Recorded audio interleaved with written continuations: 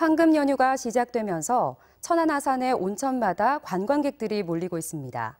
피로도 풀고 인근의 다채로운 놀이시설도 즐기기 위해 가족 단위 휴양객들로 벌써부터 북적이고 있습니다. 류재일 기자입니다. 햇살을 받으며 흘러가는 유수풀에 몸을 실으면 쌓였던 걱정 근심이 사라집니다.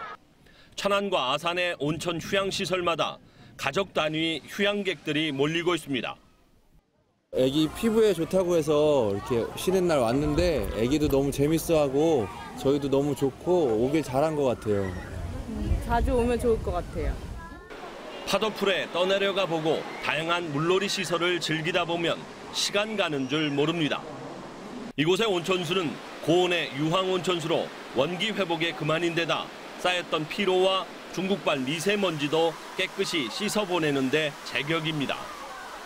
황금 연휴를 맞아 펼쳐진 다양한 할인 정책도 관광객 유치에 한몫하고 있습니다.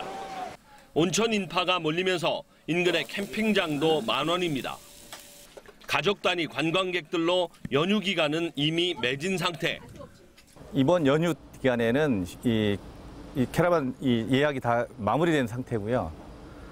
어, 추가로 숙박을 하시는 분들은 주변에 있는 호텔이나 콘도로 저희가 안내를 해드리고 있습니다. 온천 주변 관광지도 덩달아 인기입니다.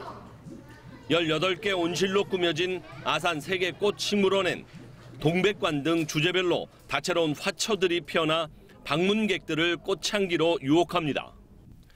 시원한 봄바람을 맞으며 철로 위를 달리는 레일바이크 코스와 통나무집이 있는 휴양림 등 천안과 아산은 지금 관광 특수를 맡고 있습니다.